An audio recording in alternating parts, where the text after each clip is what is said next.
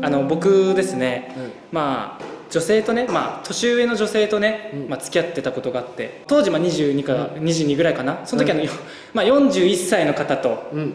付き合ってまして、まあ、僕めちゃくちゃまあ年上の女性が好きでまあ、付き合ってたんですけれども、うん。まあ、僕たちやっぱ芸人じゃないですか。うん。でやっぱライブとかも結構来てくれててああいいねねそうそうそう来てくれててなんか新ネタライブでね、うん。まあ、20組ぐらいなんかネタするみたいな、うん。でどんどんネタが続いていくみたいなライブで。あでいつもはねなんかあの「今日面白かったよ。今日面白かった」ってもうすごい褒めてくれるの。それも気持ちよくてお。褒めてくれるのが。あまあ彼女だからね。そうめちゃめちゃ褒めてくれる。で正直、うん。その日多分僕たちめちゃくちゃ滑ったんですよ。いやいや滑った？めちゃくちゃ滑った。もう滑りすぎて記憶にないそうそう。ねいつの回か。めちゃくちゃ滑って。新ネタはねよく滑りわまあこれはい。ちょっと多分呼んで、うん。初めて滑ったなと思ったの。それぐらい滑って。あ呼んだ時はいつも受けてたってことね。そうそうそうそうそう滑ったなと思って、うん。LINE でね、うん本日の、ね、感謝というか、うん今日ありがとう。ってうん言ったら全然既読になるの。1時間2時間しても。でいつもだったらもう5分で既読つくのよ。おかしいぞと思って。僕もちょっとやっぱメンヘラ気質なんで。ああメンヘラだよね確かに。なんで？うん。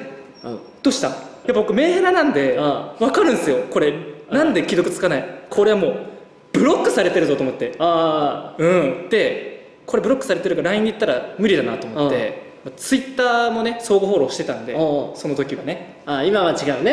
うん、相互フォローしてたんで、うん。これ DM から言ったれと思って、う。ん DM 送った「なんかあった?」って言ったら、うん。そしたら速攻パンって帰ってきて「いやもう今日本当にないわ。う。ん今日マジで傷ついた」っつって。おう「えっ?」てなって。理由聞いたのよ。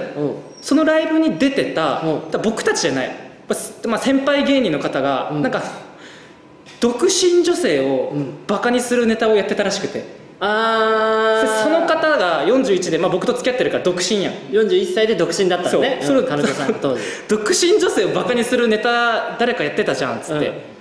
いやいや知らんけどと思って。うんやってたじゃんって言われてもと思って。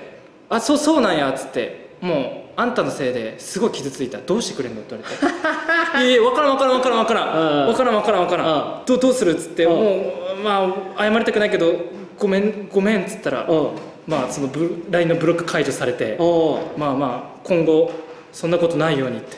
いや分からん分からん分からん。そんないろんな芸人さんネタこのネタするって把握してないから。まあ俺たちがやったネタでもないしねそれは。てめえふざけんなよと思って。ん。本当にその時は。まあなんかそういうのもいろいろありつつ、まあ、うん別れちゃったんですけどね結局。まあ、そういうのが重なっちゃってやっぱちょっと、うん。うんなんかメンヘラ気質というかやっぱね、うん。メンヘラとメンヘラはね合わないです。あっていうお話。そうそうそうそういうのがあったのよ